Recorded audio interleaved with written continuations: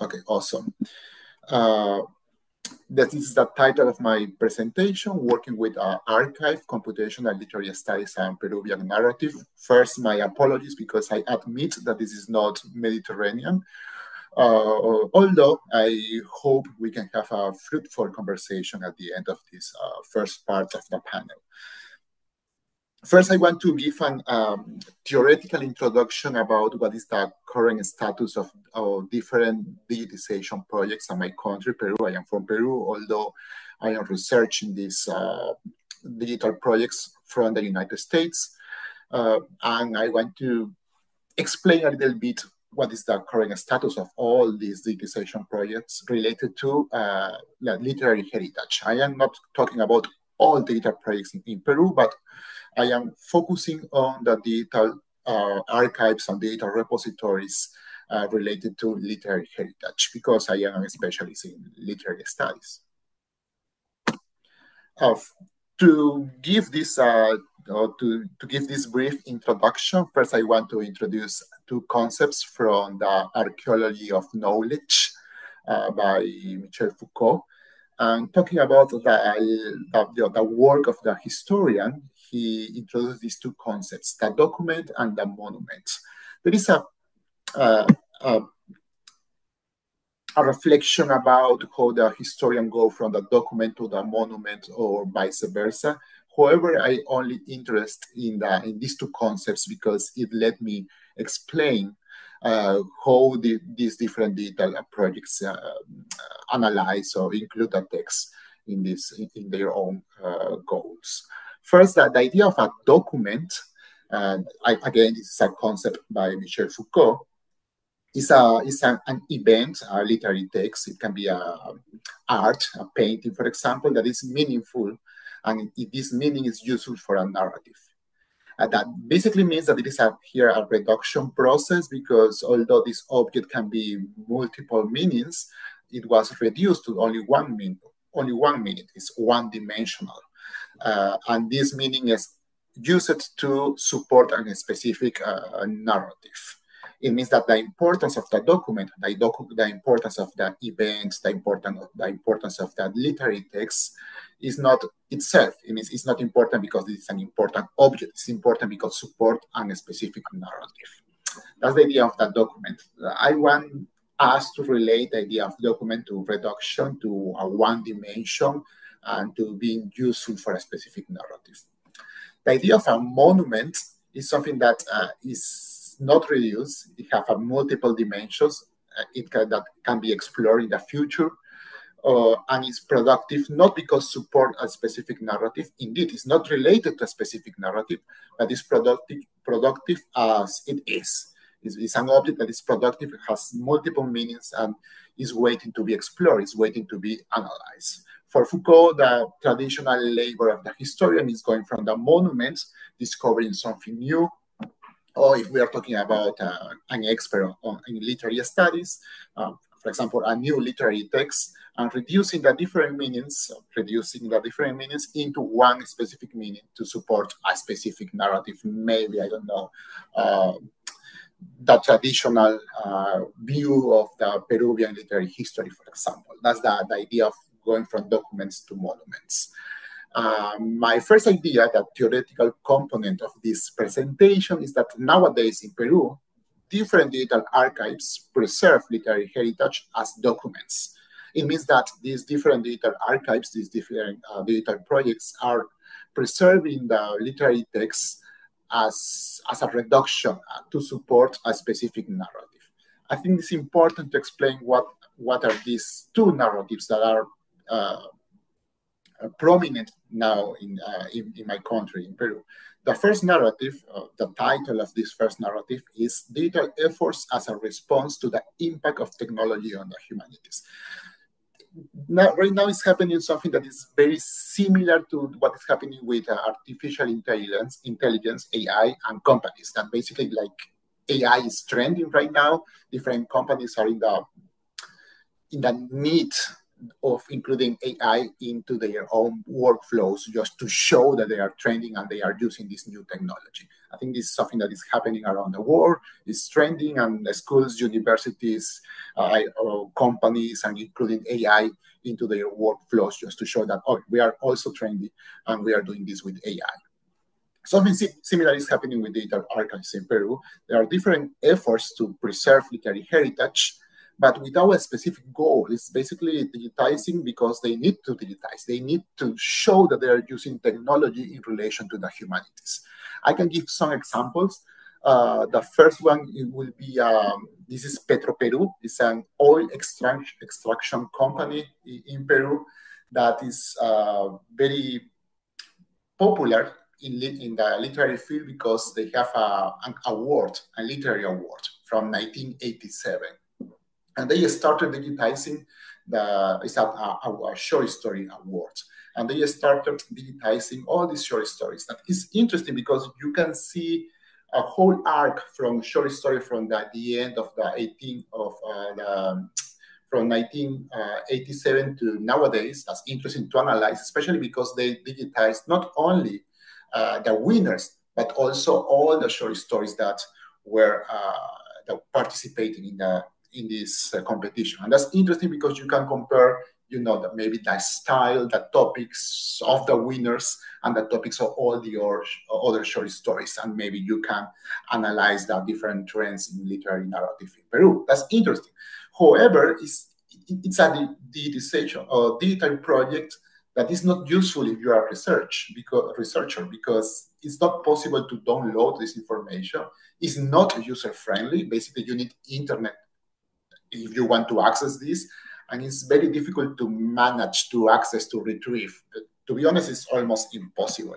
Is there in internet? Is digital, but if you are a researcher, it's basically impossible to use if you want to use a computational approach. And to be honest, if you are a reader, it's very difficult to read because it's not uh, reader friendly.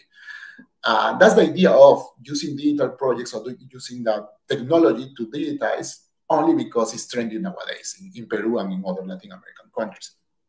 Another example is this a group of researchers. They don't have a like an institutional name that they are researching the poetry of uh, the Peruvian poetry at the beginning of the 20th century. A very interesting, interest, interesting project because they are really finding new uh, books and they are digitizing these books.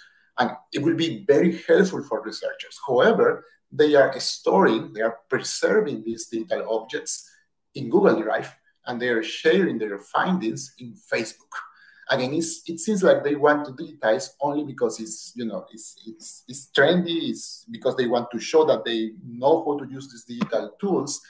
But again, it's not useful. It's not helpful for researchers.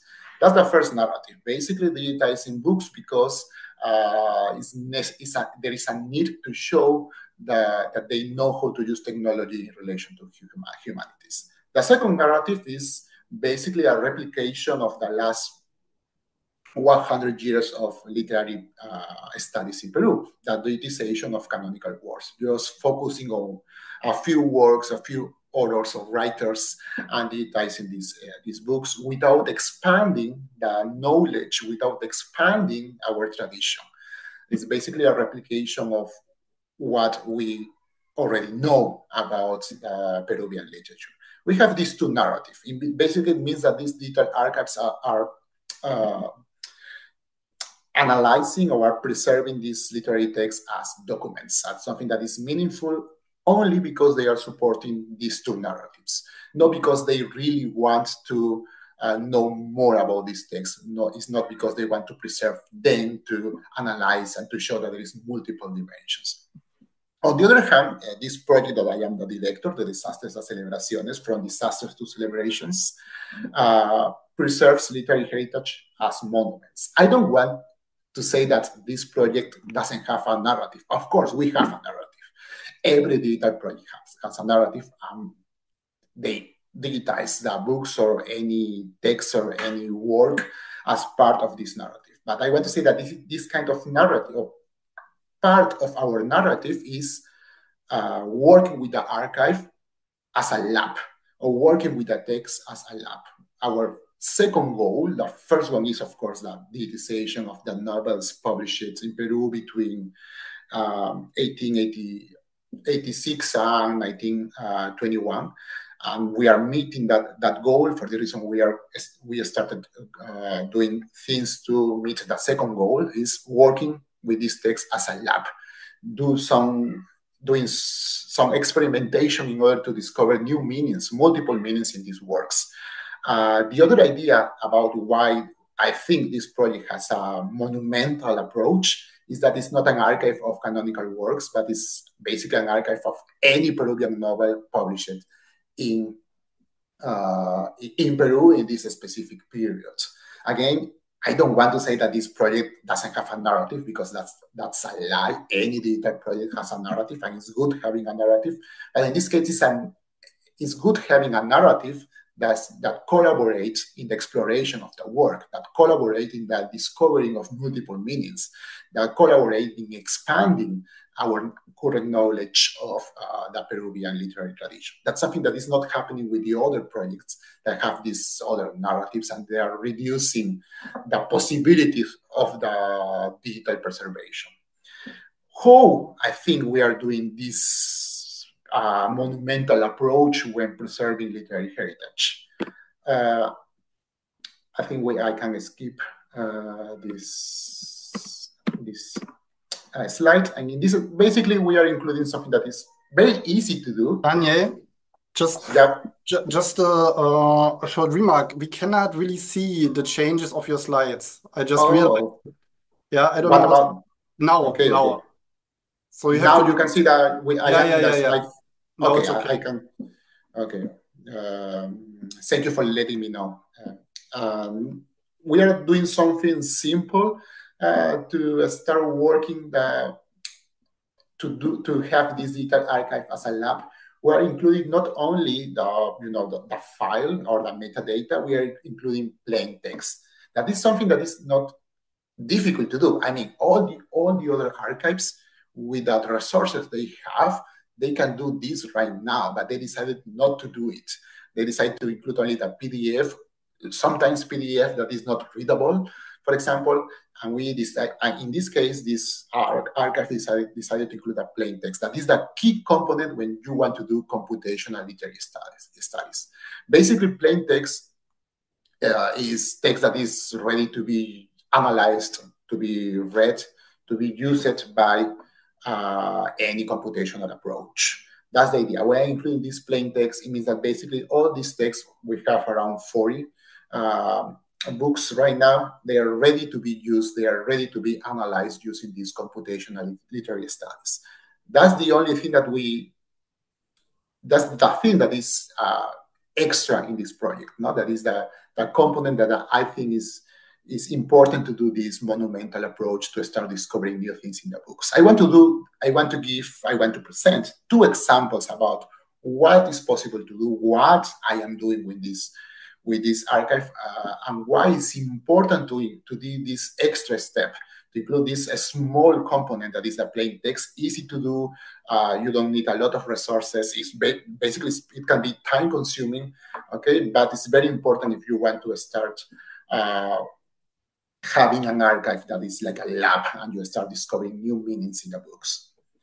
Uh, I, I, I, want to present two examples of what to do or how to do it. The first one is exploring the first in the indigenismo lexicon, that basically is a, a dictionary of the indigenismo. Indigenismo is a, a, a group of, it's not only narrative, it's art in general, but here is a group of narrative novels that explore the, or represent indigenous people in Peru. And especially they, uh, they represent, you know, the the abuses, the exploitation of indigenous people in the Andes by the white elite in our countries, in the Andes, like in Ecuador, Peru, and Bolivia, but in this case, we are focusing in Peru. And I decided to explore if is this possible to have like an indigenismo lexicon, like a dictionary of important words used by these first indigenistas uh, novels at the end of the 19th century and the beginning of the 20th century. For this reason, I use four books, four novels. Three out of these four are included in the, the From Disasters to Celebrations archive, La Trinidad del Indio, Las Perlas de Rosa, and Churinanay. And the other one, you can see the blue star there, Ave Sin Nido by Clorinda Matto de Turner, I think I think another uh, data archive is only a PDF file. It means that uh, as a researcher, I have to do there. I have to download the PDF. I has I have to transform the PDF into the plain text. I have to clean the text. I have to be sure that everything is ready to be used or to be analyzed by the computational tool. Uh, it's not the case for the other three. Basically, again, they are ready to be used. You don't have to worry about cleaning the text you only have to know a little bit of, of uh, computational literary studies. I analyzed these four. You can see that they were published at the, at the end of the 19th century, at the beginning of the 20, uh, 20th century. First, I decided to use a very simple uh, computational approach that is Voyant Tools. It's a web-based, open access. You don't need to know programming or uh, coding because, again, our purpose as a project is uh, have these resources open for everybody, but also we want to do this computational approach in an easy way. And for the and Voyant basically it's very easy to do. The only thing you have to do is uh, upload the text. And to be honest, this first approach is not uh, fruitful enough. I mean, the ideas that we can, the conclusions that we can get from using only Voyant uh, is, is not so interesting. Uh, that basically means if you want to start working with that with this text with the archive as a lab, uh, you need first the plain text, but also knowledge in computing or coding, more than only using a web-based open access uh, computational tool. As Voyant. For the reason I decided to use uh, RStudio, you can do interesting things with RStudio, and I decided to analyze or to define what is the most, the 15 most, sorry, it's the uh, there, most frequent words by novel. Something interesting using RStudio that I identified that a, a, coincidence, a happy coincidence between these four uh, novels. Uh, a word that appears a lot that is prominent in, this, in these four texts is words related to family like mother, son, father. And with this, we can confirm two things. The first one is at the end of the uh, 19th century, at the beginning of the 20th century, these novels, indigenista novels, used the family as a metaphor of the nation. And for the reason they use the words like home, father, mother, son, and they are very prominent in these texts. And at the same time, it means that the, the first indigenismo lexicon or dictionary has a paternalistic approach. If the nation is a family, the white elites, that basically elites with a lot of money and land, they are the father and the mother. And the indigenous people, they are sons and daughters. It is basically that these sons and daughters, indigenous peoples, the indigenous people, they are not entitled to decide about their future. They have to be educated by parents for the reason there is a paternalistic approach. This idea is not new. I have to be honest with you. This idea is not new. However, it's a new way to show and to confirm something that we already knew. Something that is new, and I can see that I only have like uh, five minutes, uh, is, uh, is, is this novel. It's the first detective novel published in Peru in 1911. It's uh, El Meñique de la Suegra. It's the mother-in-law uh, Pinky, I mean, guess this one, not the Pinky, the mother-in-law's Pinky. It's a detective novel, and we don't know the author, the, the writers, because in the introduction, uh, it states that it's a group of 10 different writers who published it, uh, the, who uh, wrote this novel. That, that's interesting. It's not only one writer, it's 10 of them. But we don't know the, who is uh, the, the authorship. Who is the people that are behind this, this uh, detective novel. That's interesting to know. It's not after 100 years, it's not possible to know. However, if we use a computational approach, uh, we can try to understand who are these, uh, these people. I, I, decided to use a stylo that is a, a package in, um, in RStudio.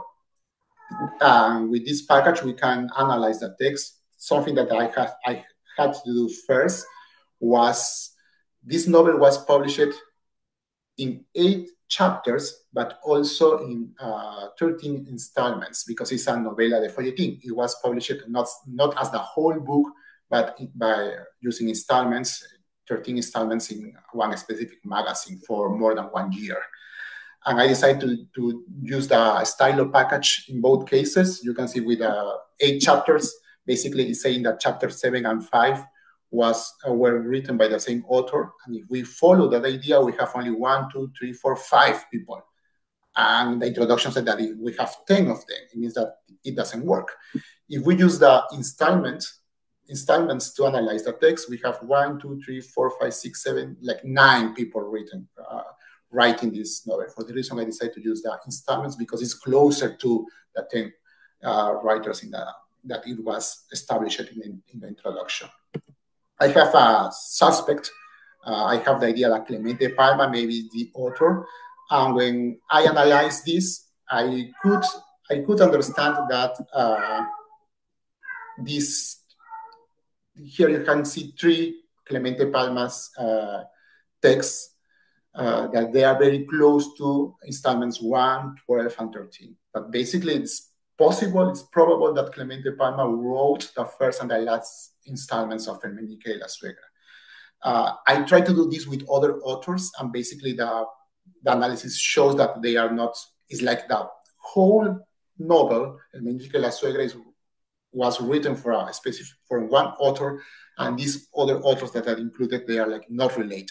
Clemente Palma is the only case that is close to the style because basically this program is uh, comparing styles. And this program shows that the styles, the Clemente Palma styles, is very close to the first and the last installments of El Meñique La.